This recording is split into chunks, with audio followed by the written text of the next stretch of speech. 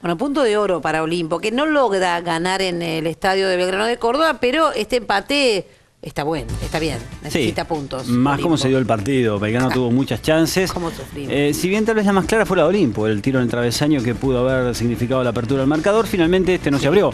Quedó en cero, Pero los dos tuvieron tuvo- chances y Champán fue la figura del partido, sacó varias pelotas impresionantes, pero decíamos, tal vez la más eh, cercana Sí. fue este soberbio zapatazo que pegó en el travesaño, hubiera sido un golazo. No, no, golazo, fíjate, casi de media cancha. Y se quedó lamentándose y no es para menos. Y todos nos lamentamos.